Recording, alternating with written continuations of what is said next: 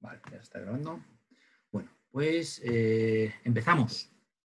Eh, bueno, eh, buenas tardes a todos, buenas tardes a todas. mi nombre es José Antonio García y yo me voy a encargar de, de daros o, o demostraros este webinar relativo a ciberseguridad. Ciberseguridad para autónomos y emprendedores. Em, bueno, mm, veis la pantalla compartida. En este sentido, pues eh, nos vamos a ir basando en un contenido que está por aquí, pues, eh, con el webinar en sí.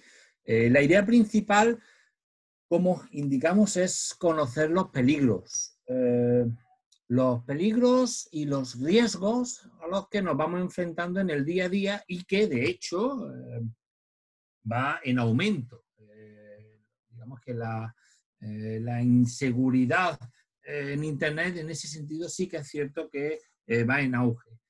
bueno, pues conocer los peligros en primer lugar. ¿Por qué? Pues porque si conocemos los peligros, podemos determinar em, cuáles son em, las pautas que nosotros estamos haciendo y que igual no son las más adecuadas, y a partir de ahí realizar una serie de acciones o tener en mi día a día una serie de hábitos que sobre todo me ayuden a estar seguro en Internet.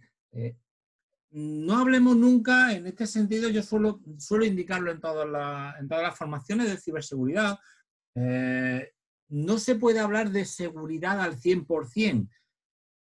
Eh, recuerdo hace muchísimos años que decía un, un jefe de sistemas informáticos de una, gran empresa, decía, bueno, pues el ordenador más seguro que, que hay es aquel que no tiene ni puertos USB, ni conectividad en Internet, ni ningún tipo de eh, flujo de entrada-salida. ¿Qué ocurre? Que eso hoy en día es impensable e imposible, ¿no?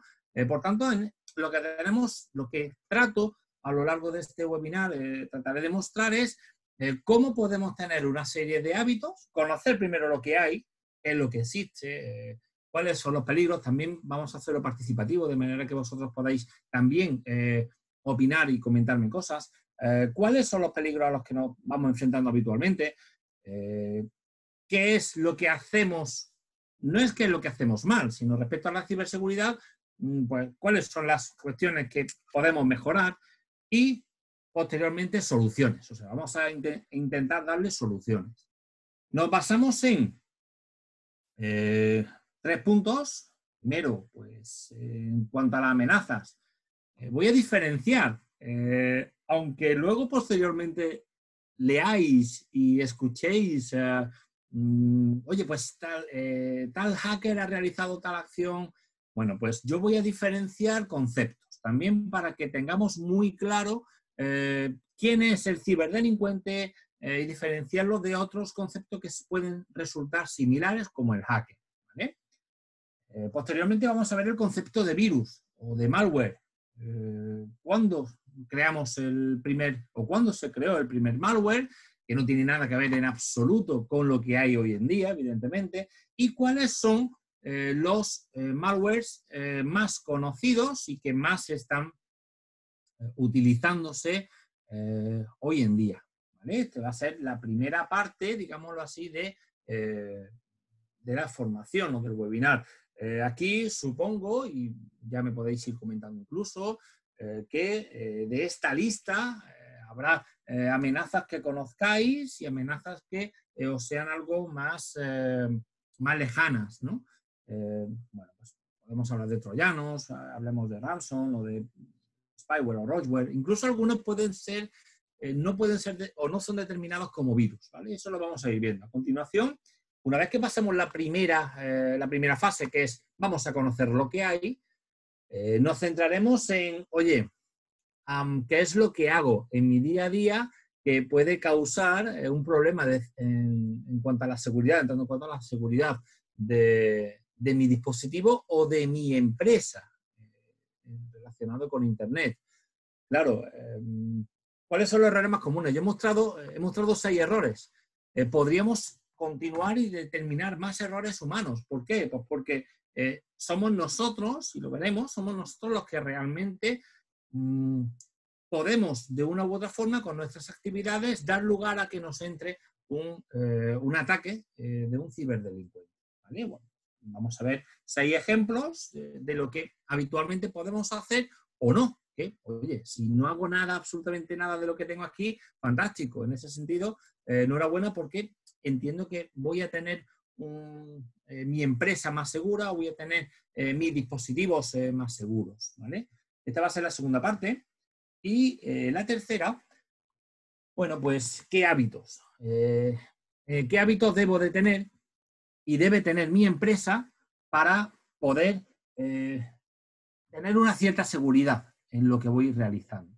Esa cierta seguridad que me da el que yo pueda conectar las distintas aplicaciones con Internet, bueno, hablemos de aplicaciones de empresa tipo Teams o cualquiera que nosotros queramos utilizar, eh, bueno, pues poder conectar correctamente, eh, incluso, pues bueno, respecto al antivirus, ver qué, qué antivirus existen y cuáles pueden ser los más recomendables, no cuál es el mejor, ya entraremos en, ese, en clásica pregunta, o cómo realizar las copias de seguridad o contraseñas, digamos que una serie de pautas que en su conjunto junto con algunas que también voy a ir comentando eh, de viva voz, eh, suponen que nosotros podamos realizar una acción en Internet, eh, un uso de la tecnología en Internet más o menos seguro. También os voy a dar una serie de páginas en las que bueno, pues podéis apoyaros para poder realmente ver aspectos relativos a la seguridad. ¿vale? Bueno, pues comenzamos. Comenzamos con la primera, eh, indicamos los objetivos, ¿no? El, objetivo lo centralizamos en cuatro. Eh, ser consciente de los peligros, un poco reincidir un poquito lo que iba comentando, ser consciente de los peligros, eh, conocer las actitudes que nos ayudan, o que ayudan, mejor dicho, que ayudan al ciberdelincuente a realizar los ataques informáticos, determinar cada tipo de amenaza y cómo resolverla, y establecer los protocolos para eh, poder estar más o menos seguro dentro de nuestras conexiones a Internet. ¿vale? Eh, vamos con las amenazas a las que nos enfrentamos. Vamos a ver, os, planteo de primeras esto, bueno, eh, realmente cuando, cuando iba haciendo la presentación, claro, yo tenía la idea de decir, oye, pues voy a plantear una serie de ejemplos característicos de las amenazas que hay hoy en día os puedo asegurar que me resultó extremadamente fácil sacar ejemplos. Es más, tuve que acotar el tiempo para decir, oye, pues voy a sacar los ejemplos de los últimos eh, dos meses, porque había tal barbaridad de ejemplos de ataques, de ciberataques a empresas, que realmente resultó bastante fácil elegir. Eh, tenemos, bueno, pues un ejemplo eh, que puede resultar un poco cantoso porque el sistema de seguridad suele ser bastante seguro. Un ciberataque que bloquea la web del Banco de España, la web del Banco de España durante dos días. Pues simplemente, eh, de hecho indica a los hackers, que ahora veremos el, matiz que quiero comentaros, eh, no han robado datos ni se ha visto afectado ningún otro servicio. Eso ya no es tan creíble, la verdad, porque si tú vas hacia el Banco de España no es para precisamente eh, demostrar que has hecho un, ciberataque. Eh, otro ejemplo, Endesa asegura que ha resistido eh, a un ataque informático que utiliza técnica de phishing, ahora lo, veremos, la suplantación de identidad. Otro, el FBI alerta de una campaña de ataques con ransomware. Vais a escuchar a lo largo de este webinar bastante este concepto de ransomware o de secuestro de información realmente a hospitales y centros médicos. Claro, Hoy en día, eh, buena parte del flujo de información, eh, mal que nos pese, eh, está centralizado también en hospitales. Por tanto, es un foco bastante claro para poder atacar y poder obtener datos. hay, un, hay un móvil económico normalmente en todo esto. Estos son tres ejemplos, pero podemos tener más. un ataque, este fue de agosto, el anterior fue del 30 de octubre. Eh, este de agosto, un ataque, un ciberataque a Mafre. Deja al 90% de los empleados sin poder trabajar. ¿Un ataque para qué? Pues para hacer caer un sistema. Hay bastantes motivos en este sentido, ¿vale? O puede haber bastantes motivos en este sentido. Fijaros que estos son algunos de los ejemplos de ciberataques que han sufrido empresas. Eh, ya no hablemos, y también lo voy a comentar, ya no hablemos de la ciudadanía en general, eh, de, de, mí como persona que conecta las redes y que tiene una información publicada y que debe tener una cierta seguridad. ¿vale? Vamos a ver, ¿estamos seguros en nuestra empresa? ¿Son importantes nuestros datos? Vamos a intentar ir contestando. ¿Estamos seguros en nuestra empresa? Eh, ¿Qué pensáis? ¿En el día a día estamos seguros realmente? Ya más o menos os he indicado un poco por, eh, dónde van los hilos, ¿no? Pues, eh, no tanto. ¿Son importantes nuestros datos? A ver, ¿qué pensáis? ¿Son importantes realmente nuestros datos para los ciberdelincuentes? Comentadme. Me podéis utilizar el chat perfectamente para, realizarlo. ¿Pensáis que son importantes los datos para los ciberdelincuentes? ¿Qué pensáis? Mientras voy a ir eh, indicando, sí, ¿verdad? Eh, claro. Eh, oye, y voy a... Claro, datos de clientes. Bien, pero también es cierto, claro, todo dato personal es importante. Me quedo con, me quedo con todas las opiniones y destaco una. ¿Vale? Todas son importantes. Todas, eh, puesto que son datos, suponen datos, y datos es igual a dinero. Eh, oye, y si yo hablo de datos personales, por ejemplo, eh, pues no sé, un autónomo que, que esté solo, sin empleados, o el carácter personal de ese autónomo, claro, para negociarlos. Perfecto. Si son bancarios, por supuesto que sí. Si son bancarios, además, es que tengo un phishing fantástico, que veremos lo que es, un phishing fantástico para poder eh, vender esos datos luego en el mercado negro que existe y hay un navegador muy bonito para poderlo hacer y se puede hacer y de hecho podéis entrar. Otra cosa es que sea lo más adecuado, ¿vale? Pero hay un navegador que propicia realmente que se puedan vender estos datos. Claro, recibes correos de, a ti te robaron, eh, Ana María, indica que recibe correo spam de temas bancarios. Claro, habitualmente. Y quizás lo, más habitual es que hoy en día se reciban más SMS. Curioso, el SMS mm, no lo estamos utilizando tanto, ¿no? Pero, por ejemplo, para el, para bancario se sigue utilizando bastante, ¿vale? Con mi entidad bancaria me ocurrió hace poco, pues, se sabía. A Yolanda, a mí me robaron mi tarjeta y compraron perfumes eh, perfume, otro una cena, claro, evidentemente, a eso me refiero. Eh, aparte, está, estaba la ciberdelincuencia, digamos, de, uso común. en ese sentido, bueno, pues la ciberdelincuencia de uso común no tiene más que, oye, pues yo con una tarjetita voy comprando, eh, obtengo el PIN, eh, utilizo la ingeniería social, que lo voy a comentar ahora, para engañar al usuario y una vez que tengo los datos, pues puedo realizar ciertas acciones. Desde eh, comprar perfumes, etcétera, hasta eh, formar parte de una base de datos que, poder, eh, que pueda ofrecer dentro del mercado negro, ¿vale? de la dark web que veremos más adelante. Bueno, pues fijaros, ¿es lo mismo un hacker que un ciberdelincuente? A ver, ¿es lo mismo un hacker que un ciberdelincuente? Pregunto. ¿Qué pensáis? Tarjeta estaba en tu poder, madre mía. ¿Qué pensáis? ¿Es lo mismo un hacker que un ciberdelincuente?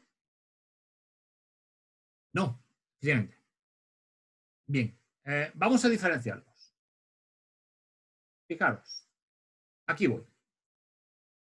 Vamos a ver, no, no es lo mismo. Un hacker es una persona, a ver, hacker y ciberdelincuente, digamos que tienen, claro, eh, son personas que tienen un alto eh, conocimiento de ciberseguridad. Pero eh, la diferencia principal estriba en la utilización de ese conocimiento. El hacker no tiene como objetivo eh, sacar un beneficio ilícito de ese conocimiento. El ciberdelincuente sí. El ciberdelincuente obtiene un beneficio con ese conocimiento. claro, efectivamente. un hacker blanco. ¿Vale? Que se denomina. Eh, claro, el hacker blanco, bueno, pues digamos que hay muchísimos hackers conocidísimos que realizan auditorías de seguridad. Esas auditorías de seguridad de empresas, eh, pues sirven para que no puedan eh, hackear, la, la redundancia, claro, mm, voy leyendo mientras tanto pasado a tener datos de ordenador personal, por supuestísimo, y llevarlo a la empresa informática para resolver el problema, evidentemente, ¿vale? estamos expuestos estamos expuestos a ese tipo de problemáticas, eso está clarísimo. Pues en ese sentido diferenciamos entre los dos, entre el hacker y el ciberdelincuente. El ciberdelincuente realmente busca el obtener un beneficio, normalmente económico, aunque puede ser que no, como ha comprobado Yolanda, eh, el cracker o ciberdelincuente obtiene un beneficio económico con, eh, con el delito, ¿vale? Con el delito en sí. Y el,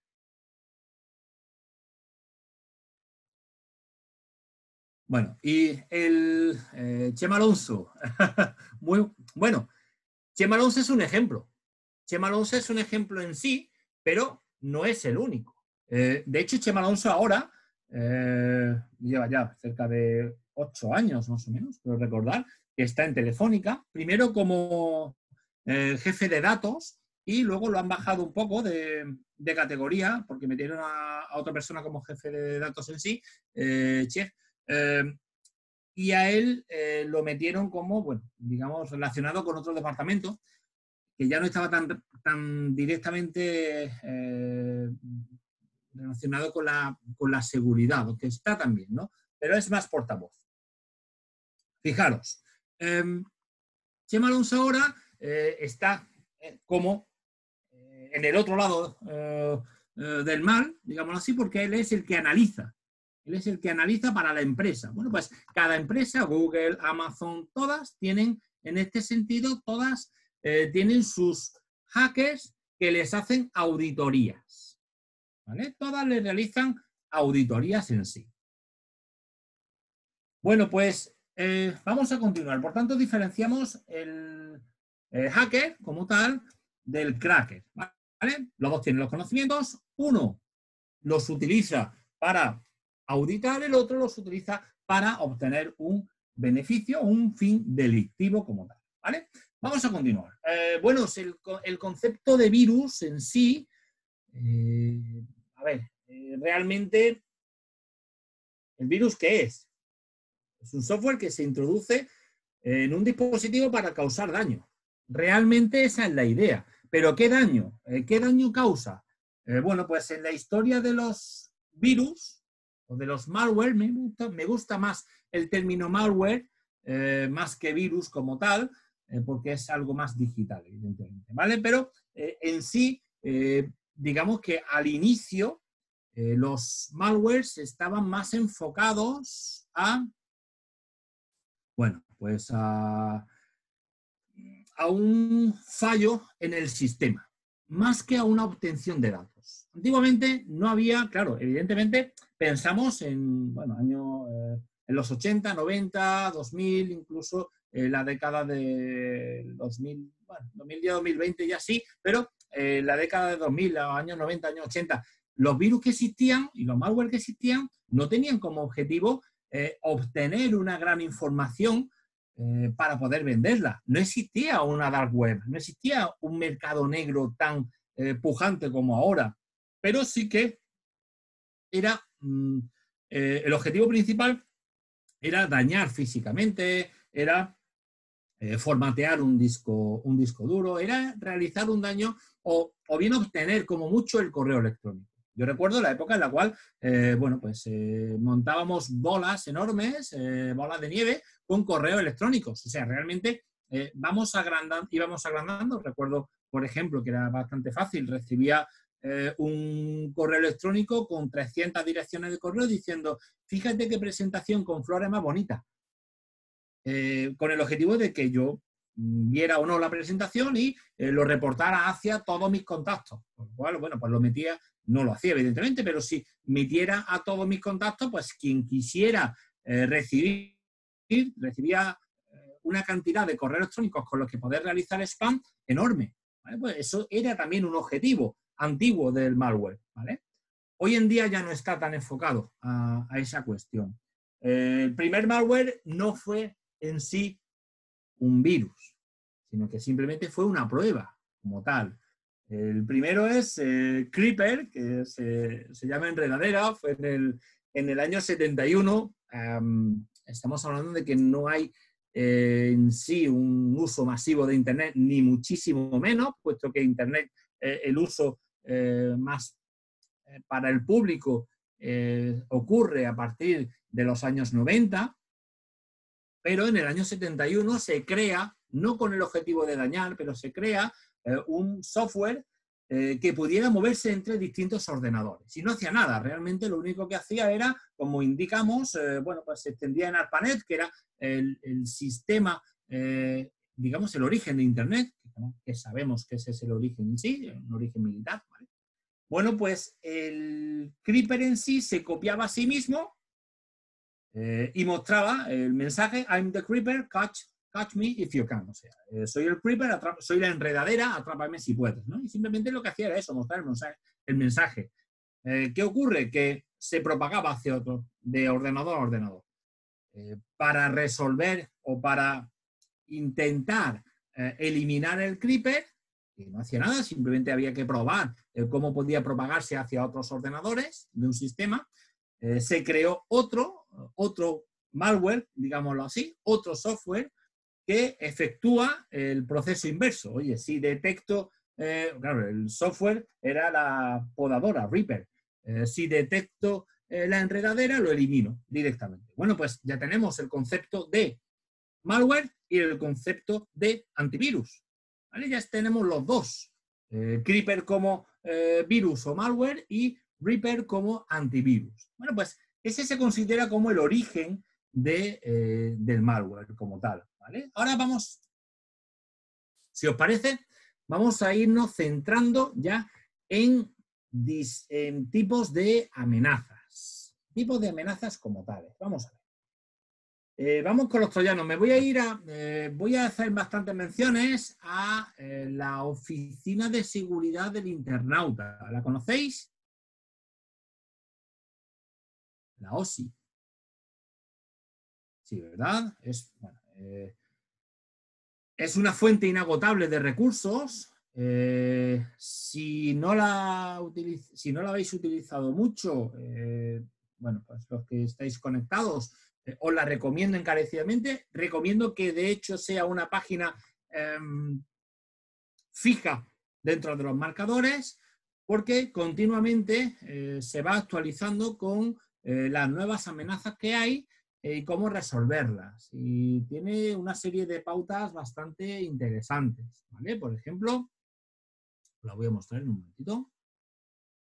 Eh, la tenemos aquí. ¿vale? Eh, la OSI, pues, el derecho al olvido, o tenemos una, una serie de, de campañas para configurar los de recursos para configurar los dispositivos, para establecer conexiones seguras, para guardar la información, ¿vale? Para digamos, ser eso, precavido con, lo que hacemos online. Nos, da una, nos da muchísimas pautas de las que luego hablaremos. También tenemos una serie de recursos, eh, herramientas, incluso, incluso antivirus y firewalls, ¿vale? Guía de compra, guía de privacidad. Bueno, cómo, aquí, eh, algo que hemos eh, hablado hace un momentillo, cómo aprender a identificar los fraudes online. Bueno, es una página que eh, de hecho eh, la Oficina de Seguridad eh, del Internauta en sí es una página oficial. Es una página oficial que pertenece al, al, Ministerio de Asuntos Económicos y Transformación Digital y digamos que es una web que funciona perfectamente en los años que lleva, que lleva bastantes, que tiene la sede en León, eh, la, sede de, del Intecocer, de la cual depende eh, esta web, ¿de acuerdo? Y la verdad es que bastante, funciona bastante bien. Yo la voy a ir recomendando y voy a ir comentando varias cosillas al respecto. Ahora, dentro de, eh, de la OSI, dentro de la Oficina de Seguridad del Internauta, de nada, María Eugenia, dentro de la Oficina de Seguridad del Internauta, pues tienen una forma muy peculiar, me ha gustado mucho, de mostrar los tipos de, amenazas. Eh, lo han hecho de una manera muy muy curiosa, fijaros. Eh, vamos a verlo al modo que nos indica la OSI. Eh, por ejemplo, el tipo troyano. Pues todo está estructurado en la información básica, que es, qué es el, eh, cuál es la amenaza en sí, qué aficiones tiene, o sea, cuáles son los motivos por los cuales entra, ¿de acuerdo? dónde se aloja, el origen, de dónde viene, si tiene relación con otros eh, con otros elementos de ciberseguridad, como puedan ser otros malwares. ¿Y qué es lo que no le gustan? Hablamos de soluciones, evidentemente. Hablamos de pautas, evidentemente. Bueno, pues basándonos en esa estructura, vamos a ir viendo los distintos tipos de, eh, de, virus o de amenazas o de malwares, ¿vale? Vamos a ver el primero, eh, troyano. ¿Conocéis el troyano? claro, evidentemente conoceréis la, la, historia del caballo de Troya. ¿Qué ocurre? Que es un software que simula ser algo que no es. Eh, realmente, a través de la ingeniería social, la ingeniería social, para que nos situemos, ¿qué es? Eh, la capacidad de engañar al usuario, de hacerle eh, tomar decisiones en base a, una confianza que debemos de ir ganando o que el ciberdelincuente debe ir, de ir ganando. Por ejemplo, eh, un acto de ingeniería social. Eh, recuerdo un tiempo que salía para la, para la ciudadanía, aquello de descubre quién no te sigue en tal red social, por ejemplo. Y nos aparecía eh, una página web en la cual eh, nos indicaba, fíjate, ¿quieres ver quién no te está siguiendo o quién te ha, quién te ha baneado en esta red social? Un ejemplo, eh, pulsa aquí, introduce tus datos, atención, introduce tus datos de usuario y te reportamos lo que, bien, a, ver, a través de ese concepto que tenemos de, oye, pues la curiosidad de saber quién no me sigue o quién me ha baneado, etcétera, pues esa ingeniería social aprovecha, eh, es aprovechada para poder entrar con nuestros datos. Bueno, ese es un ejemplo. Eh, otro es, eh, te ha tocado un premio, pulsa aquí para recogerlo. O otro, por ejemplo, puede ser, oye, tenemos un error en los datos, por tanto, pulsa aquí para introducirlo y modificarlo. O las últimas están relacionadas con el COVID igualmente, con el COVID-19. COVID-19, bueno, pues hay digamos, muchísimos actos de ingeniería social eh, en las cuales, cuales realmente nosotros caemos y como fin último eh, obtienen datos, O nos introduce un troyano, etc. Por tanto, eh, a través del engaño por medio de ingeniería social, el troyano, el malware, entra en el dispositivo y ¿qué puede hacer? Elimina, bloquea, modifica datos, realiza copias no autorizadas, por supuesto, o digamos que esta es la menor, este es el menor de los problemas realmente, interrupción en el rendimiento de ordenadores o redes. Claro, eh, hoy en día el objetivo principal de un ciberdelincuente no es tanto eh, el fastidiar técnicamente un ordenador o una red eh, como obtener datos, tener datos como tal. Bueno, pues el troyano en sí le gusta la leyenda del caballo de Troya, evidentemente, porque digamos que simula lo que no es. Eh, le da control del ordenador y sobre todo el troyano es muy importante y peligroso porque es la base para otras, eh, otras fuentes, otras fuentes de malware. Por ejemplo, ransomware, que veremos más adelante. Bueno, pues ese sería uno, eh, uno de ellos. quizás generalmente suele ser el malware de entrada. Este se suele considerar como el malware de entrada. Eh, evidentemente hay multitud, no hay un único troyano, no hay un único malware que se llame troyano, sino que hay muchísimos eh, tipos de troyanos, cada uno de los cuales eh, se introduce de una forma, generalmente utilizando la ingeniería social que hemos visto. Este es uno de ellos. El gusano, el worm, Vamos a ver. Em, respecto al gusano, os pregunto, eh, ¿qué diferencia hay entre un gusano y un troyano? ¿Qué pensáis? ¿Qué diferencia pensáis que tenemos entre un troyano y un gusano?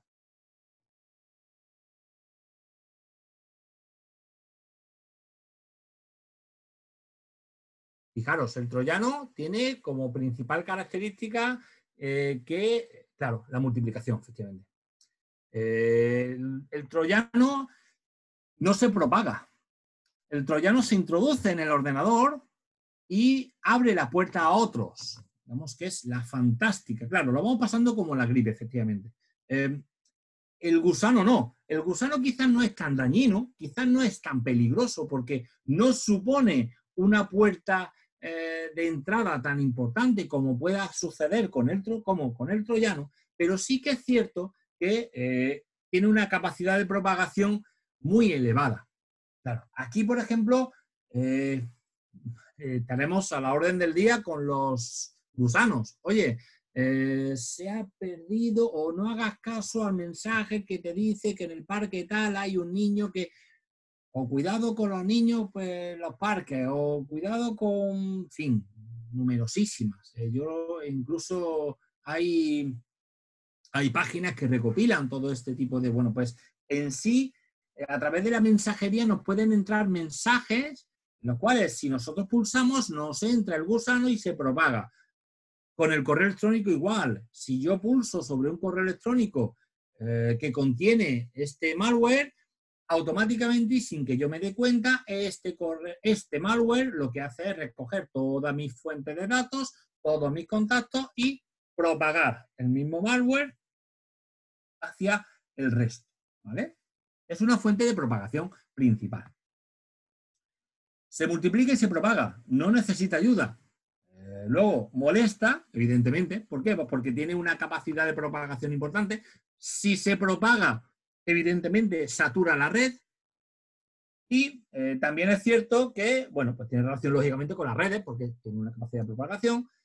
Y claro, si me propago por una red, el antivirus viene bien, pero no tanto. Aquí quizás lo que más conviene, y ya voy adelantando, eh, es un cortafuegos.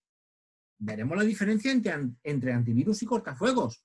Uno es de puertas para adentro y otro es de puertas para afuera antivirus, lo que yo tengo aquí, lo que tengo dentro, voy a protegerlo y voy a impedir que tal fichero, eh, que es dañino, eh, cause daño en mi equipo, recoja datos. El firewall es, oye, yo voy a establecer un muro, una, eh, base de entrada, según la cual yo controlo quién entra y quién no. qué dispositivos que piden acceso, qué páginas o qué, qué ordenadores piden acceso y yo controlo el flujo de datos en la red. Ese es el cortafuegos o firewall. Bueno, pues claro, el gusano si tiene una alta capacidad de propagación, ¿cómo se puede solventar fácilmente? Con un buen firewall, evidentemente. Con el, con el virus, o sea, con el antivirus, también, pero sobre todo con un buen firewall.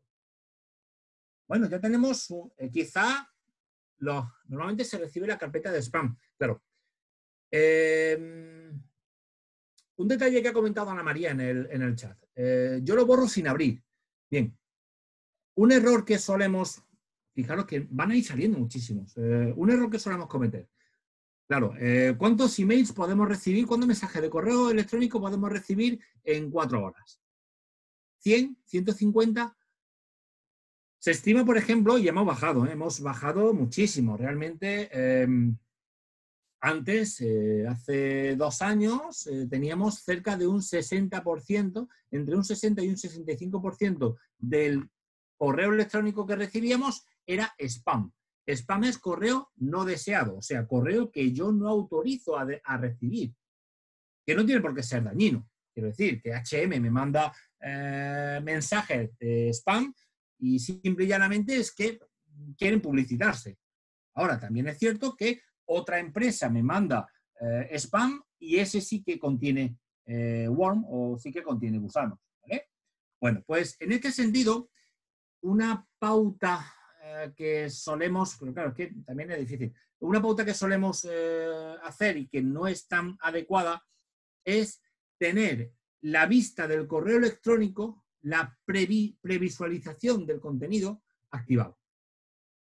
O sea, que realmente dentro de la configuración, y hablo por ejemplo de Outlook, eh, dentro de la configuración del correo, eh, lo tenemos para que simplemente desde que yo pulso en la bandeja de entrada ya se previsualiza el contenido en la, eh, parte central. Bueno, pues en la configuración de Outlook puedo desactivar esa previsualización. ¿Por qué? Porque hay virus, hay malwares que actúan ahí, en esa previsualización. Esto en el fondo son eventos de programación que, que ocurren en un evento concreto con Focus, por ejemplo, en un evento concreto puede suceder una acción que introduzca un malware.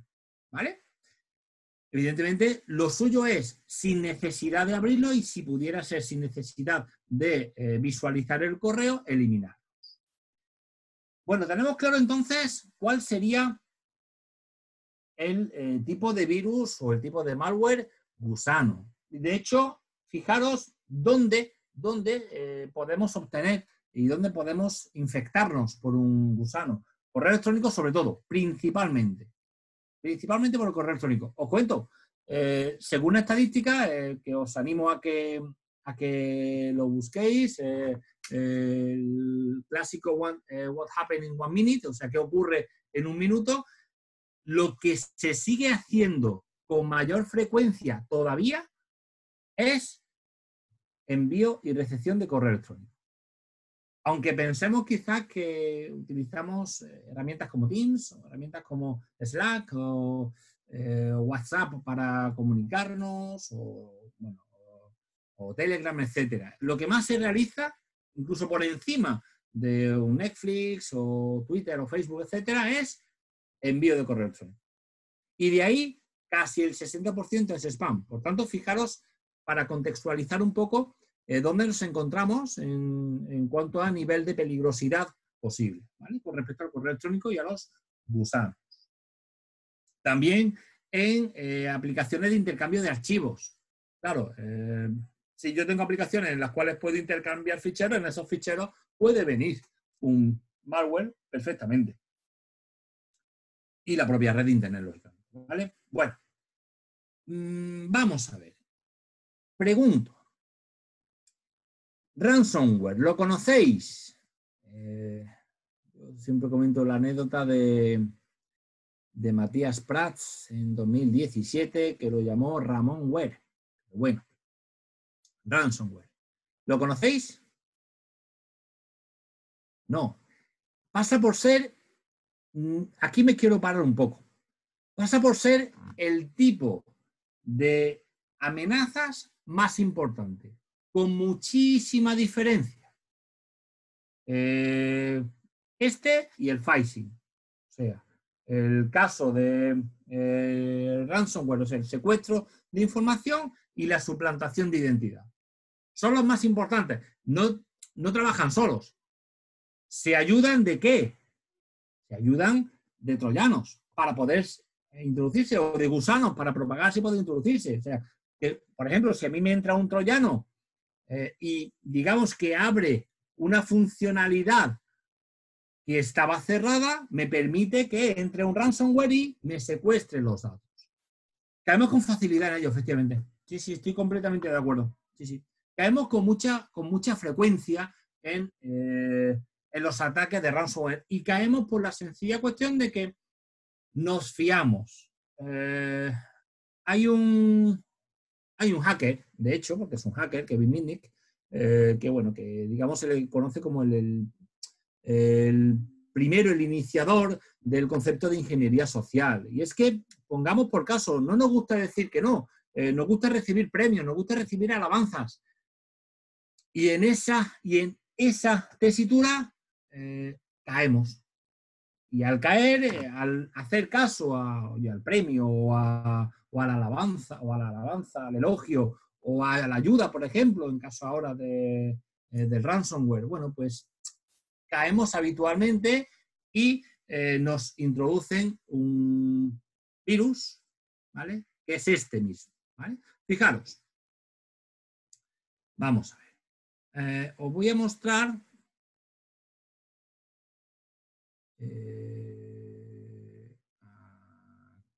uno de ellos.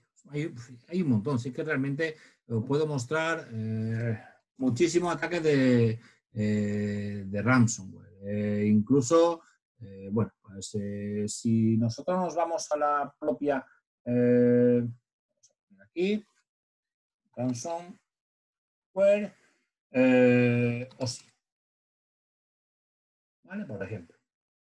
En sí, no sé si os sonará, es uno de ellos, el virus de la policía.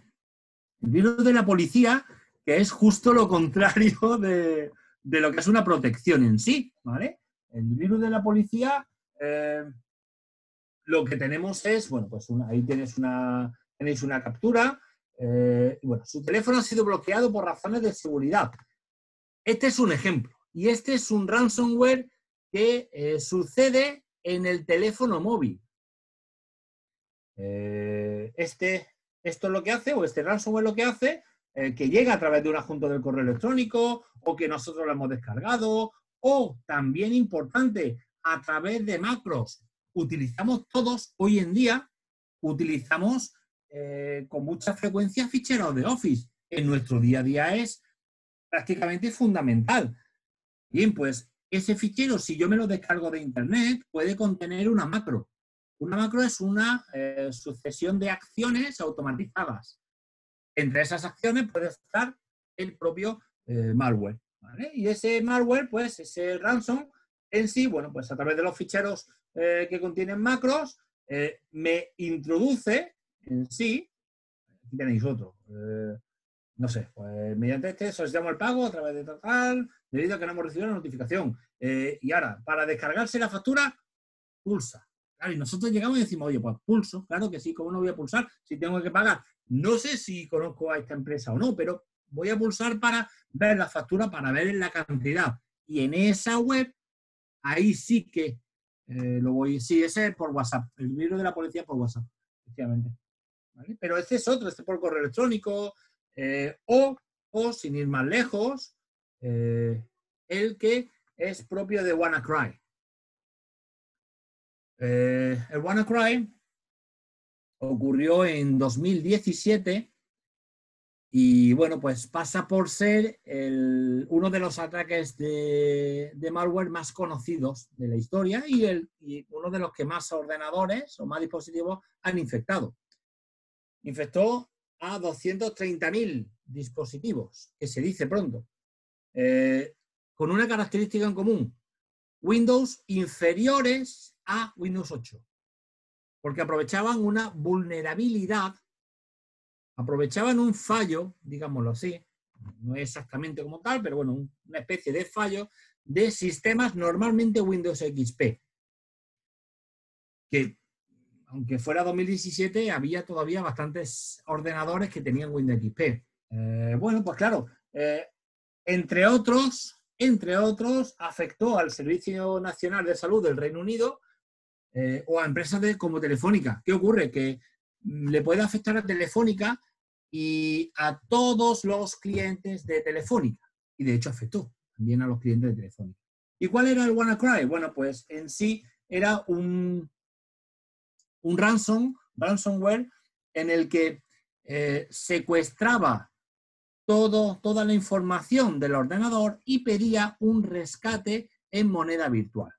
Vais a ver a continuación. Primero os describo la forma que tiene la, OSI tan peculiar de mostrarlo y ahora vais a ver el ejemplo del eh, WannaCry. La información básica, bloquea el ordenador para que no lo puedas utilizar hasta que no haga lo que yo digo, que es pagarme en moneda virtual, no en una moneda que sea fácilmente trazable.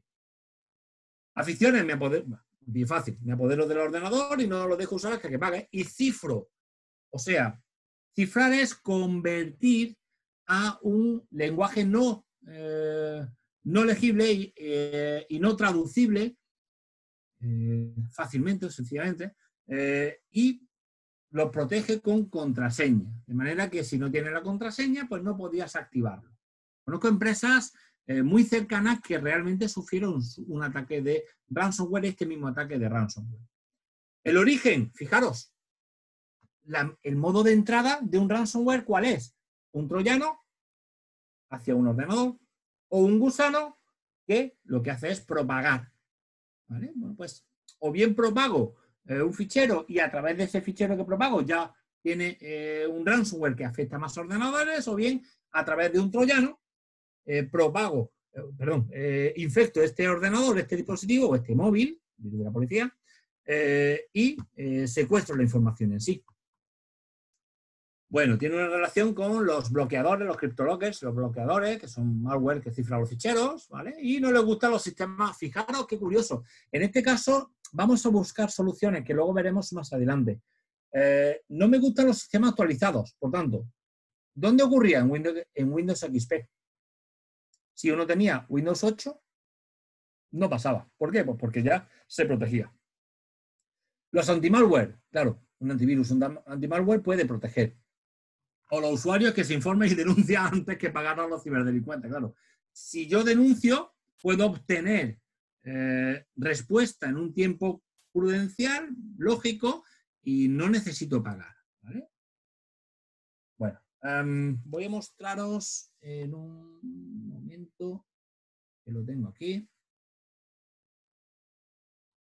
el WannaCry para que lo veáis.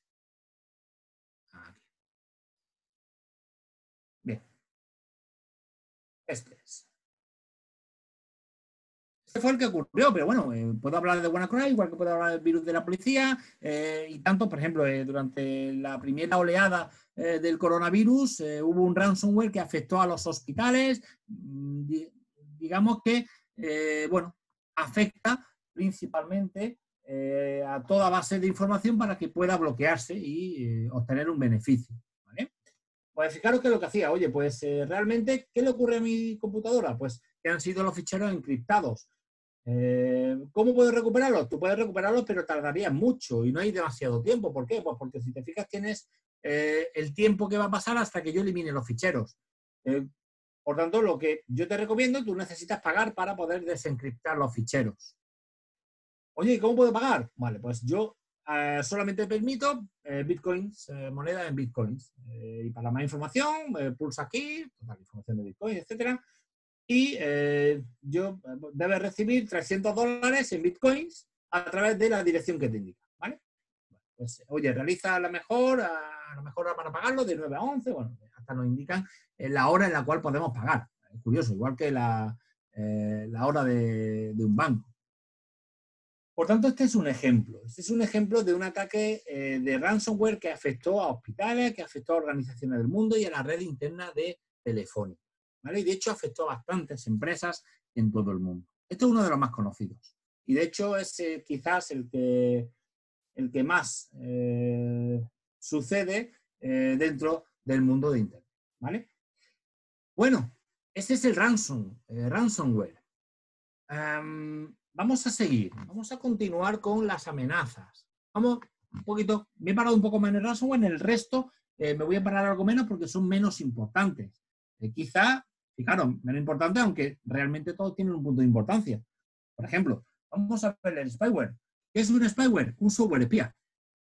Va acompañado de algún tipo eh, de, pues, no sé, hablamos de un keylogger, hablamos de, bueno, pues, eh, otro software que recoja la información para poder ser enviada. Hay vídeos eh, muy interesantes en los que realmente a través de una cuenta de Gmail eh, se puede perfectamente insertar un, un spyware un software espía y monitorizar lo que hace el usuario. Incluso reportarle hasta captura de pantalla. ¿Qué ocurre? Como bien indico aquí. no es un virus porque no, bueno, mm, el comportamiento no es propio de propagación, eh, pero sí que es cierto que infecta un dispositivo. ¿El objetivo cuál es? Recopilar información. Usuarios, contraseñas, captura de pantalla, audio, contenido, toda información. No para encriptarla, como pasa con el ransomware, sino para poderla reenviar a quien, eh, al ciberdelincuente, que luego la va a vender a Ok, muy bien. Venga, un saludo. Espero que te haya gustado. Hasta luego. Eh, que realmente eh, este tipo de spyware recoge la información, eh, la envía hacia el destinatario, que es el ciberdelincuente, que posteriormente la va a vender en la eh, red eh, dark web, digamos, o la red, digamos, más oscura de Internet. Evidentemente, bueno, pues llega a través de adjuntos del correo electrónico o a través de, y aquí meto otra cuestión que es importante, de programas gratuitos, de freeware. llega a través de freeware, o sea, oye, es que yo tengo eh, WinRAR o, eh, pongo un ejemplo con WinRAR, pero puedo poner múltiples. Oye, me he bajado un programa que, mm, es eh, de tipo gratuito o versión de 15 días, un trial. Vamos a ver, este tipo de aplicaciones generalmente, o incluso, os puedo decir, el, el, KMS, que es un activador de Office, contiene keylogger y contiene troyanos sin ir más lejos. Oye, es que tengo una licencia pirata de Office. Y luego yo la activo con el AutoKMS que está por ahí pululando, que lo que hace es eh, hackear eh, el sistema eh, propio de Microsoft para poder validar mi licencia. Bien, pero por contra, lo, ¿qué es lo que obtengo? Lo que obtengo es un fantástico spyware y un fantástico troyano con el que pueden recopilar mi información personal y mi información empresarial y revenderla en el mercado negro, por ejemplo. Bueno, pues este es otro de ellos. Eh, vamos con un Roach, Roachware. Roachware es el falso antivirus. Eh, aquí tenéis un ejemplo. Oye, mm, tu sistema eh, se ha infectado con, aquí ponen cuatro, pero bueno, realmente he visto, tu sistema se ha infectado hasta con 300 tipos de virus diferentes. Es una cosa bárbara. pulsa aquí para procede o pulsa aquí para solventarlo. Eso suele estar en una página web, realmente. En eh, la página web, en un momento dado, me aparece un banner de publicidad o me aparece una página emergente, una ventana emergente, mejor dicho, y a través de esa ventana emergente me sale un mensaje diciendo, oye, que tienes un, eh, que tienes un montón de virus o tienes un montón de malware. Pulsa aquí, ¿por qué? Porque yo te lo voy a solventar.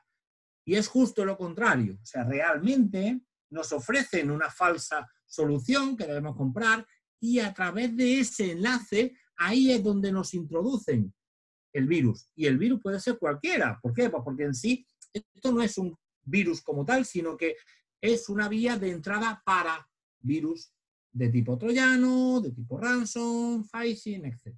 ¿Vale? Pero realmente es un mecanismo que en el fondo lo que utiliza es, vuelvo a lo mismo, la ingeniería, ingeniería social. Si os fijáis, oye, eh, me he infectado. Buah, no voy a hacerle caso, pero si es que me aparece hasta el logotipo de Microsoft y la página de Microsoft. No me doy cuenta si esto es la página en sí de Microsoft, un HTTPS, etcétera.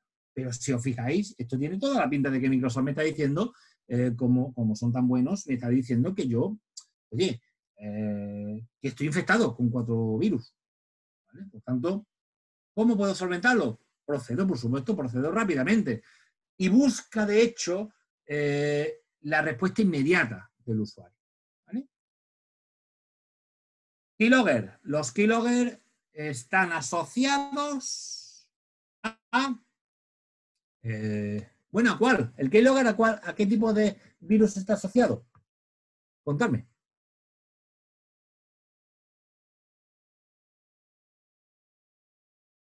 El keylogger está asociado concretamente al spyware. El keylogger está asociado al spyware, de manera que, eh, claro, esto es un, mm, una aplicación que lo que recoge es las pulsaciones del teclado. Toda pulsación del teclado. Recoge las pulsaciones para poderlo enviar a quien fuera. Claro, si registra toda la pulsación del teclado, puede registrar pulsación de teclado, no ratón. Y por supuesto nada táctil. Por tanto, puede registrar mi código de banco, puede registrar mi contraseña de redes sociales, eh, mi contraseña de correo electrónico, eh, etcétera. Todas las direcciones las que introduzco, todo. Por tanto, en sí lo que hace es capturar la información. Captura la información sin que nos enteremos y las envían, eh, viene siempre con troyanos, evidentemente, y las envían hacia eh, hacia, a quien, hacia la persona que tiene que vender la información. Obtiene contraseña, usuario, tarjeta de crédito, pines. Y vamos con el phishing. Phishing con PH. Vamos a ver, fijaros. El phishing es otro de los eh, otro de los malware importantes, otro de los malware que más eh, acciones se eh, realizan hoy en día. El ransomware y el phishing. ¿Qué ocurre? Que a través de los troyanos puede introducir un ransomware, lo cual troyano quiera que no, es muy importante también. Tiene su importancia. ¿El phishing qué hace? El phishing es la suplantación de identidad. Es un ejercicio de suplantación de identidad, tal cual. Eh, ¿A través de qué?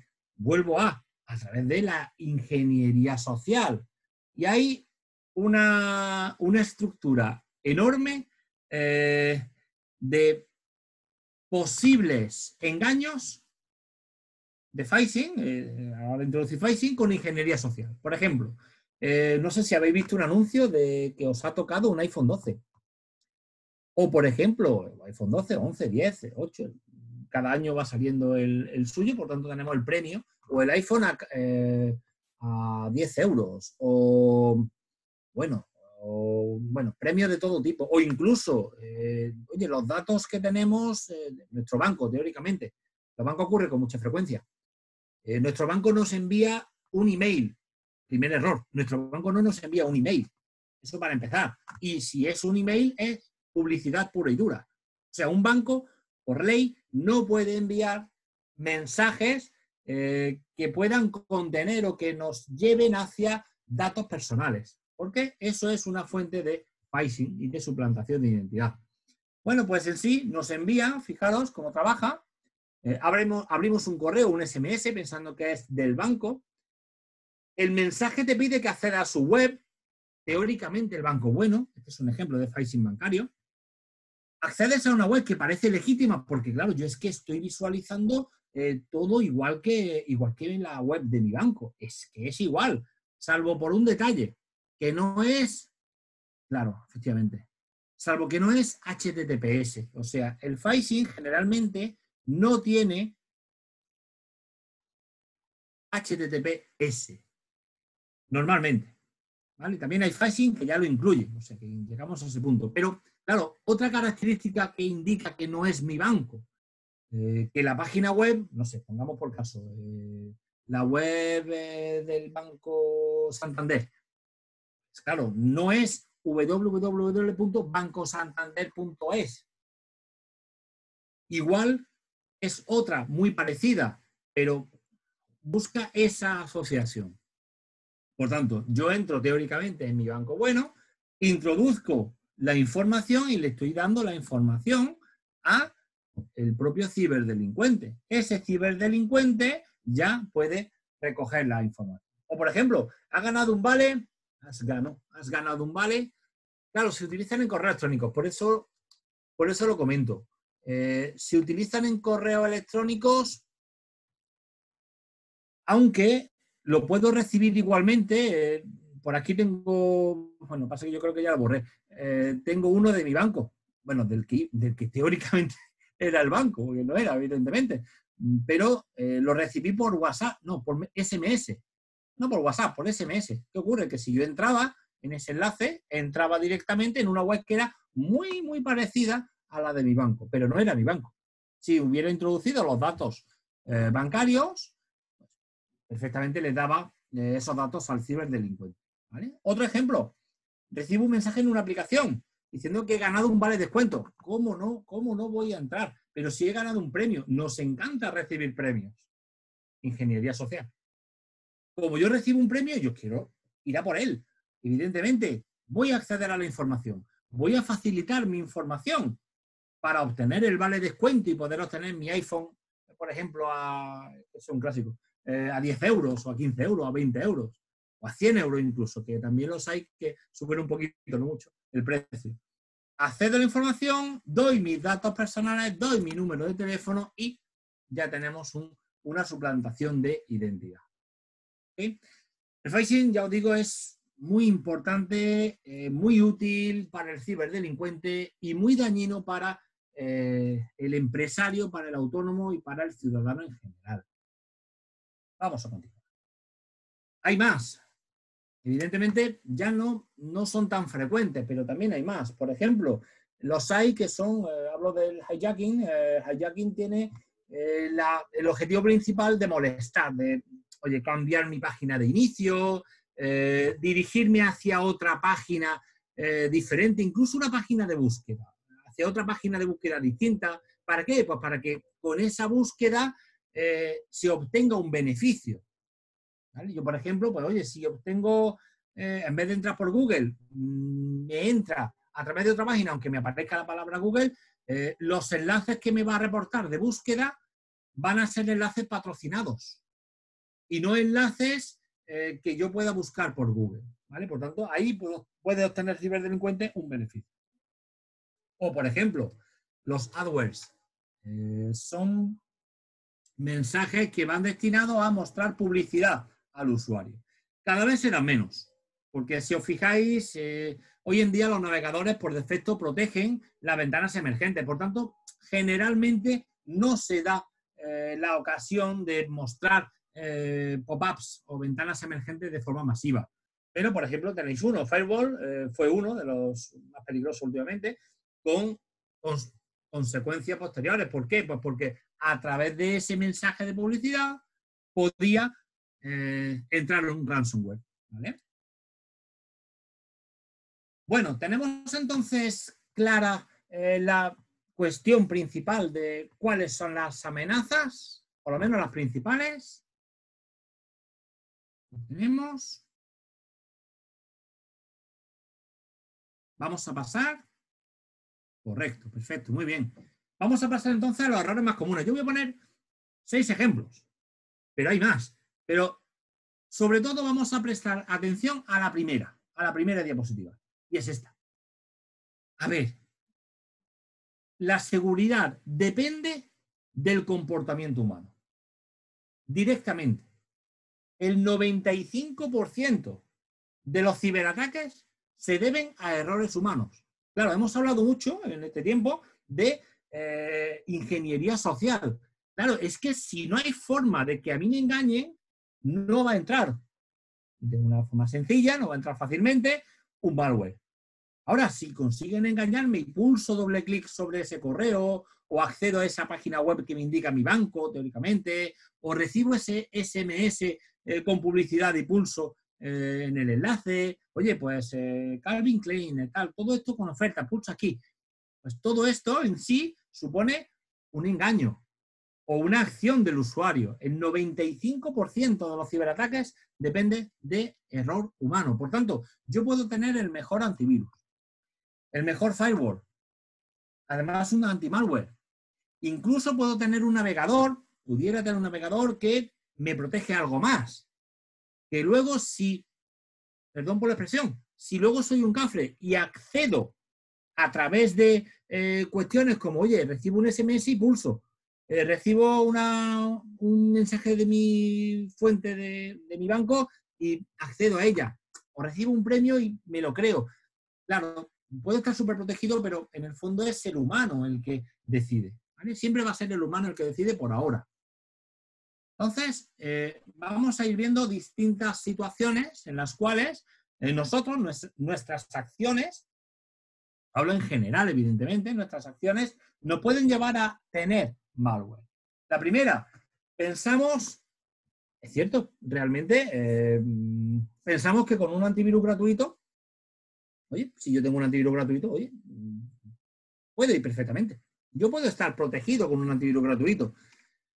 Claro, pero un antivirus gratuito me lleva a pensar que no tengo una protección al nivel que igual necesitaría con el uso de las nuevas tecnologías, con el uso actual de Internet. Claro, eh, tenemos Avast, supongo que conoceréis los antivirus más conocidos, ya lo voy comentando yo, Avast, AVG, eh, McAfee, eh, Kaspersky, que es el ruso, que va, es fantástico, Avira, Node32, Bitdefender, Windows Defender, que es el que trae el propio Microsoft, con Windows 10, son buenos antivirus, correcto, y tienen una versión, todos tienen una versión doméstica. Versión doméstica gratuita, versión eh, no doméstica de pago. Claro, eh, es posible que pueda pensar que con un antivirus gratuito y entrando en las páginas adecuadamente, etcétera, no voy a tener problemas, pero realmente eh, son fuentes de información, son fuentes para poder obtener virus. ¿Qué diferencia hay entre un antivirus gratuito y un antivirus con suscripción? Yo lo indico aquí, pero os voy a mostrar, que de hecho incluso lo tengo en una ventana, lo voy a mostrar ahora mismo el nivel de protección. Eh, claro, soporte técnico. Generalmente los gratuitos eh, no dan un soporte técnico inmediato. Eh, los de pago sí. No quiere decir que sean diferentes, quiere decir que me voy hacia un nivel superior, me voy hacia una, una marca que contiene un antivirus de pago. Por ejemplo, Avast tiene versión gratuita y versión de pago. La versión gratuita me protege a un 50-55%, eh, la versión de pago me protege a un 80-85, a un 100%, no lo penséis. Eh, o F-Secure o Bitdefender, ¿vale? Tienen su versión gratuita y su versión de pago. Voy a mostraros uno de pago. ¿Qué contiene? Fijaros, y no hablo del mejor. ha tardado la pregunta, María Eugenia. este es un clásico, este es un clásico. ¿Qué antivirus es mejor? Ah, yo no me atrevería a decir que antivirus es mejor. Eh, realmente, yo diría, eh, os, pongo un ejemplo, yo tengo Avast ahora, este año, porque el año pasado eh, tuve Kaspersky, el anterior tuve AVG, el año que viene muy posiblemente, si voy bien con Avast, continúe, si no voy a ir a otro.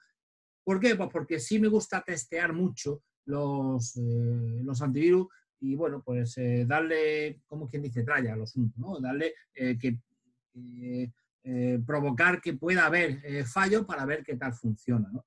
Bueno, pues fijaros en cualquier tipo de antivirus que sea de pago, que sea conocido, eso sí. ESET es muy bueno, fantástico, fantástico. ESET Security es el que era antes NOS 32, ahora es ESET Security también cualquiera de pago conocido es bueno, es realmente bueno. No sé si el mejor, pero realmente bueno. Eh, ¿Y qué contiene o qué debe contener? Los codos básicos, perfecto. Pero además, eh, probar archivos virtualmente. ¿Qué quiere decir esto? Que si yo cuelgo ahí un fichero del cual no me fío, me prueba para ver si tiene ransomware, para ver si tiene troyano, para ver si tiene gusano, etc. Y me lo prueba de forma virtual. Me hace un entorno virtual para ello. O, por ejemplo, si entran desde fuera, conexiones remotas no deseadas, eh, lo protege. O un inspector de Wi-Fi, bueno, ya es quizás lo de menos, porque, bueno, verifica si eso lo puede hacer con la contraseña de la Wi-Fi mía. Eh, pero verifica si tengo problemas de red. Por ejemplo, un cortafuegos. Esto es fundamental. Todo antivirus que sea de pago debe contener un cortafuegos. Claro, un filtro, un filtro importante. Un filtro en la entrada y salida de información. El ransomware, bueno, pues si os fijáis, estas son las características normales. ¿Cuál es mejor? Lo vamos a ver después, ¿vale? Lo vamos a ver un poquito después. Pero ya os, ya os voy adelantando. Eh, normalmente nos vamos hacia Kaspersky, eh, Avast, eh, Set, Set eh, AVG, Avira, Bit Defender, ¿vale? Normalmente. Por ahí tenéis una gama que tiene, Norton quizás ocuparía muchísimo porque es demasiado, demasiado intrusivo, ¿vale? Por ejemplo, Panda es un buen antivirus, pero se queda un pelín corto en ese sentido, ¿vale? Y ahora, bueno, ese sería el primer error. Me voy al segundo. Mis datos no interesan a nadie. Ya me habéis dicho que sí, que los datos interesan y que los datos de hecho interesan y mucho. De hecho, hasta los datos personales de un usuario, hasta los datos de un ciudadano interesan. ¿Por qué? Pues porque todo esto va a esta parte que tenemos aquí abajo, a la dark web. Nosotros accedemos a Internet a través de estos servicios que, está que están en la superficie, en eh, lo que se denomina surface web. Ahí tenemos Google, Bing, digamos que este es el mundo de Yuppie. En ciberseguridad este es el mundo de Yubi. Pero hay más. ¿Por qué? Pues porque fuera de esta Surface Web, tenemos la Deep Web, que, es, que no es ilegal, ni muchísimo menos. De hecho, se utiliza con muchísima frecuencia y nosotros no accedemos a esa Deep Web. ¿Por qué? Porque esa es una Internet que utilizan eh, las universidades, los gobiernos, eh, las entidades científicas y que a través de otros patrones de búsqueda se obtiene información a otra velocidad. ¿vale? Fijaros que eso supone el 90%, se dice pronto, el 90% de la información que fluye en Internet. Eh, repositorios de organizaciones, eh, fuentes de gobierno, eh, registros académicos, base de datos multilingüe, o, por ejemplo, registros médicos, suscripciones, artículos científicos, o sea, todo, todas las los papers científicos relativos al coronavirus fluyen a través de, de esta Deep Web.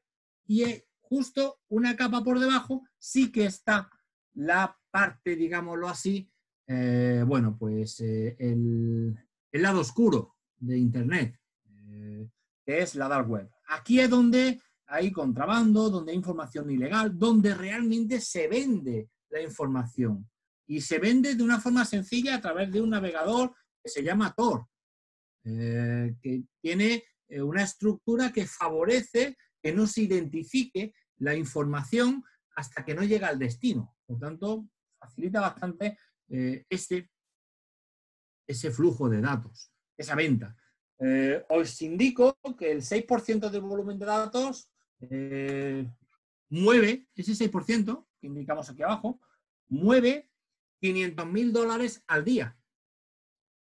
Por ejemplo, incluso un ciberdelincuente, vamos a ver,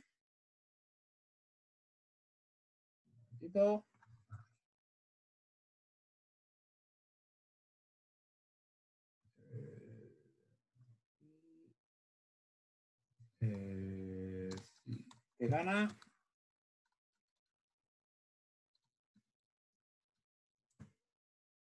¿Vale? Eh, bueno, había de Forbes, eh, había un reportaje bastante interesante indicando que, cuáles eran los beneficios de un ciberdelincuente. Y bueno, pues eh, realmente eh, los, lo va a mostrar, básicamente, lo tenemos aquí incluso. Eh, después de gastar unos 3.000 dólares, podemos tener hasta 72.000 dólares.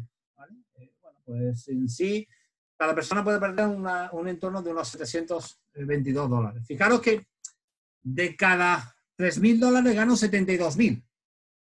Yo invierto en exploit, invierto en malware, invierto en ransom, invierto en, troyanos y a partir de ahí obtengo un beneficio. Por cada 3.000 eh, dólares que yo invierto, gano 72.000. Un beneficio económico muy importante.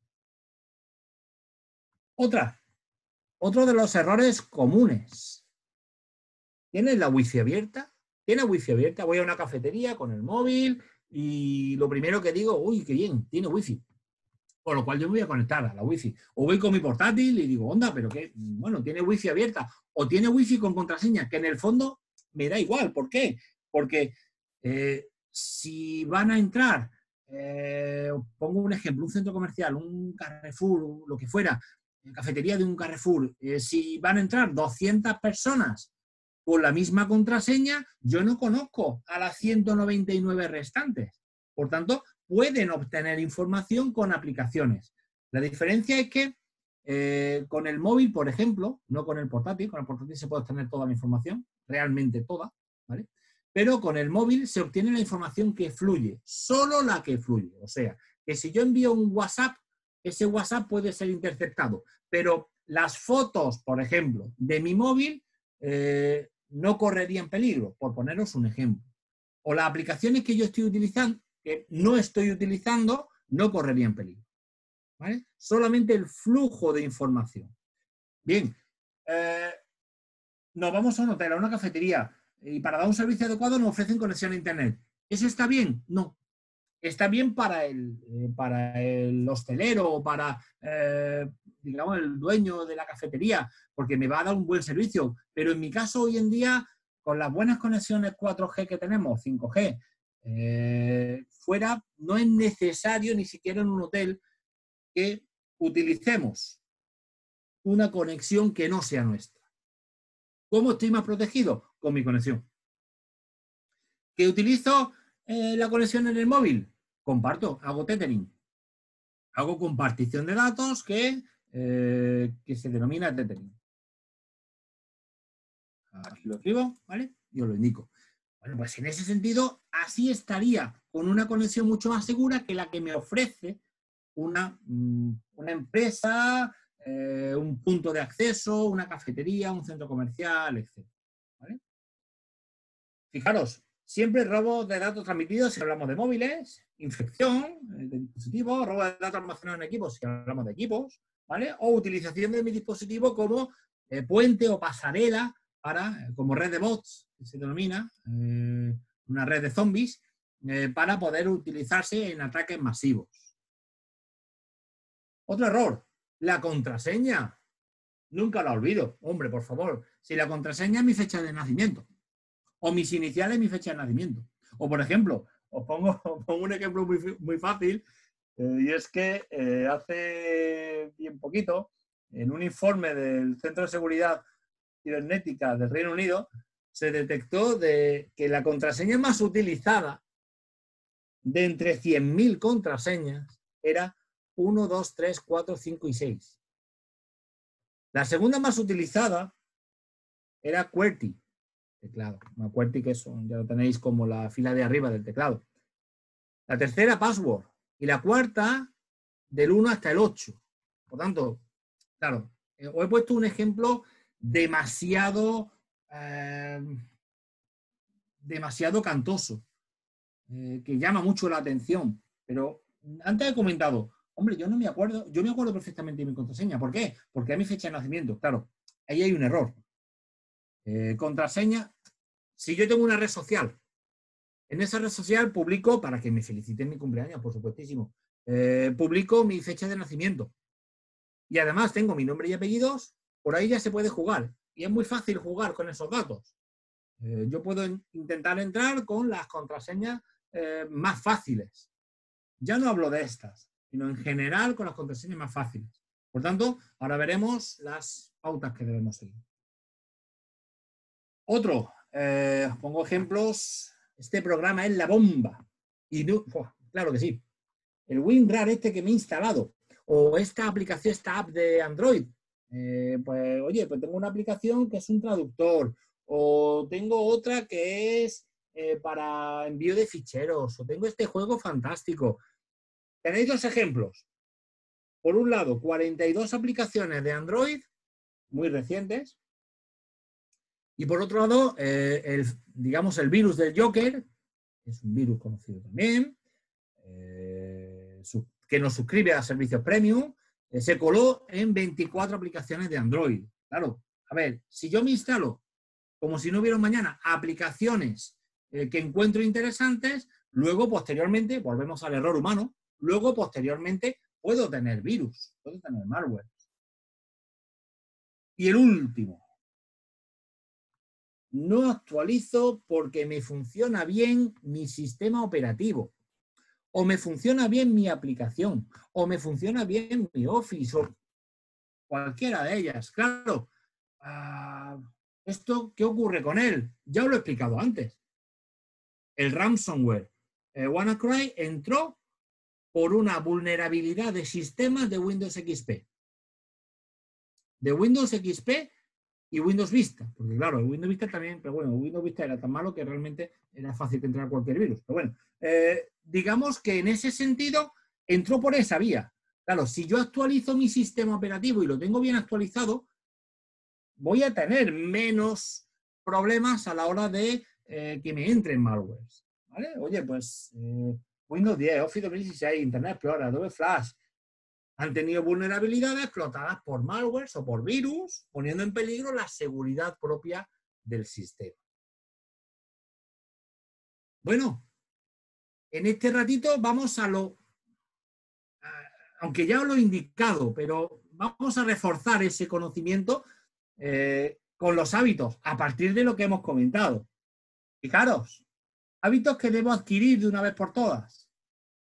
A ver, si yo tenía el error de no fiarme de o decir que un antivirus gratuito era lo más adecuado, ¿cómo lo puedo corregir? Pues eligiendo un antivirus normalmente de pago. Que no quiere decir que me proteja al 100%, pero me protege. Al actualizar los dispositivos van más lentos. Claro, em, depende del dispositivo. Por ejemplo, puedo decir, eh, Windows 10 es más rápido que Windows 7, que Windows 8, que Windows 8.1 y por supuestísimo que Windows XP. Por ejemplo, eh, las aplicaciones, lo, que realmente hace lento, en eso Windows 10 ha mejorado mucho, por ejemplo, ¿de acuerdo? Pero lo que ha mejorado eh, mucho es que actualizamos de forma más clara eh, eh, lo que utiliza, la RAM que se utiliza por medio de la aplicación. ¿Sabéis cuál es el navegador que más consume? ¿Que más RAM y que más eh, recursos consume? El que estamos utilizando, Chrome. Y sin embargo es el que más utilizamos. Efectivamente, Google Chrome. Claro, pues a eso me refiero. Continuamente las actualizaciones, y de hecho las últimas actualizaciones de Chrome van enfocadas a un uso menor eh, de, los recursos. ¿Para qué? Pues para que vaya más fluido. Las actualizaciones son siempre interesantes y de hecho ya aquí lo que indico es em, también otro, otra de las soluciones, la vamos a ver. Primero, un buen antivirus, los que hemos comentado antes. Copias de seguridad. A ver, una empresa muy conocida eh, solventó el WannaCry simple y llanamente eh, restaurando una copia de seguridad. ¿Por qué? Pues porque la tenía. Si no tengo mi copia de seguridad, al final pierdo datos y el perder datos supone perder dinero. En la nube, en sistemas externos, lo que queramos, pero en sí debemos tener eh, copia de seguridad completa, una copia al completo de todo, incremental, modificando los ficheros que se hayan modificado, que se hayan actualizado, o diferencial con las diferencias, los ficheros creados desde la última copia. Realizamos de forma periódica copias de seguridad. La tercera, las contraseñas. Claro, a ver, eh, me voy a la parte, la OSI, la OSI es fantástica para esto. Eh, tenéis las campañas, ya sabéis que este vídeo lo tenéis posteriormente colgado también en YouTube y tenéis los enlaces. Bueno, pues fijaros, eh, ¿cómo proteger? Contraseñas complejas, mínimo 8 caracteres, incluyendo números, mayúsculas, minúsculas y caracteres especiales. Y contraseñas diferentes, o sea, una contraseña distinta cada dos, tres servicios. Yo no digo que tengáis una contraseña por cada servicio, que sería lo, lo suyo, pero por lo menos cada dos, tres servicios cambia de contraseña. Y cambiarla con regularidad, aunque sea por olvido. Hay aplicaciones como por ejemplo eh, Keeper, es una de ellas, que lo que hace es eh, guardar, es un repositorio de contraseñas. Necesito una contraseña para ello. Pero por lo menos para no olvidarlas, obtengo la lista de contraseñas que estoy utilizando.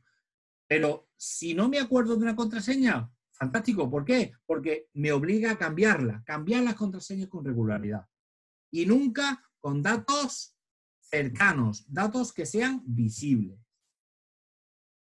Contraseña segura, también la autenticación de doble factor. Ok, muy bien, todo muy claro. Muchas gracias, Yolanda. Autenticación de doble factor es, si mi contraseña la averiguan, tengo mi móvil. Me piden un código y a través de ese código que me envían al móvil, puedo entrar. ¿Qué ocurre? Que averiguo mi contraseña y además tenga mi móvil, solamente estoy yo.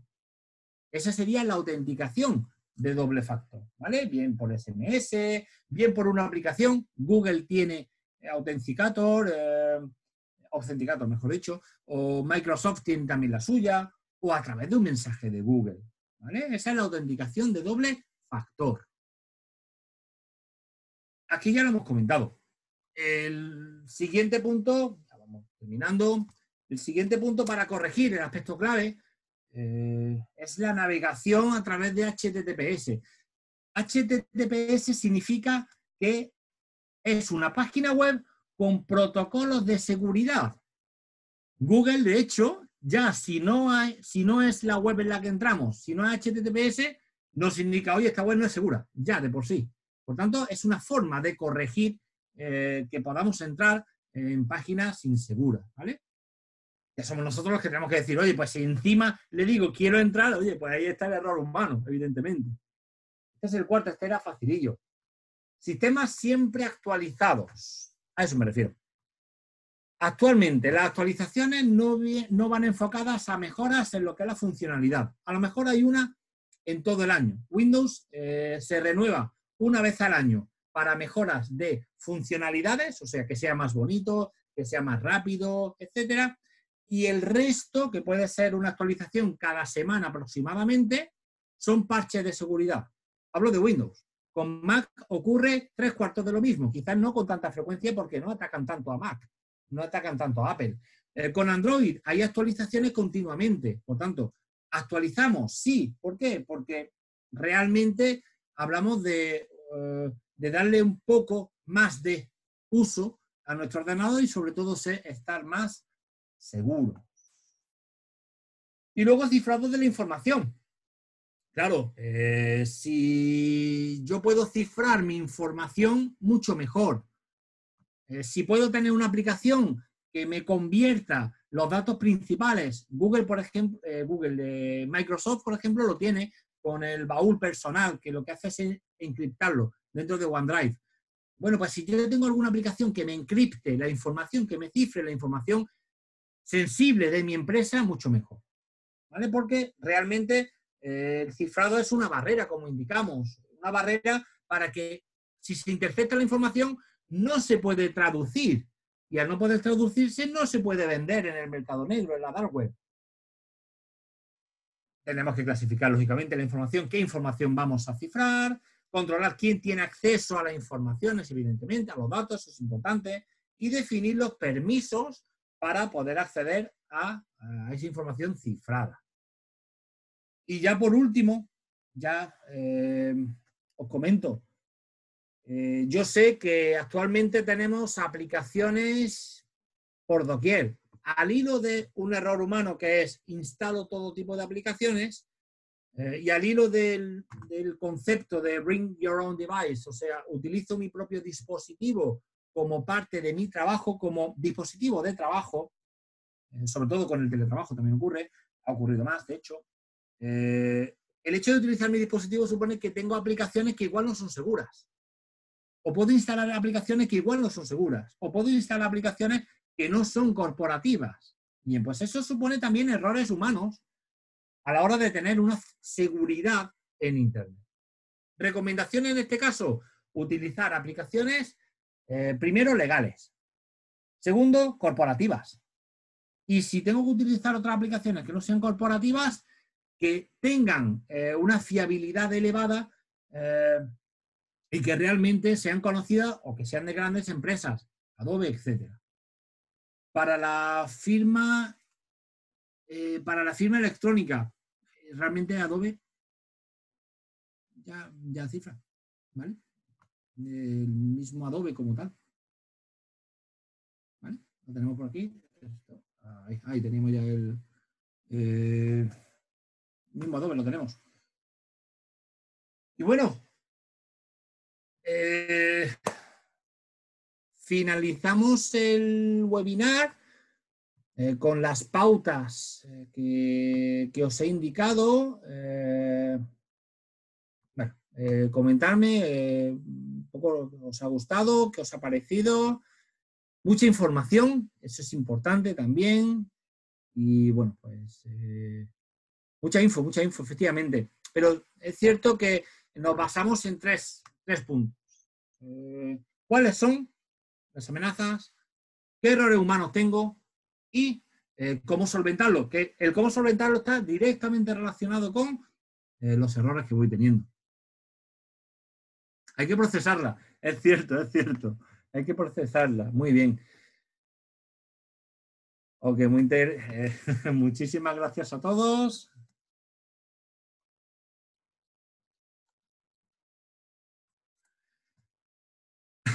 Gracias a vosotros, siempre, gracias a vosotros.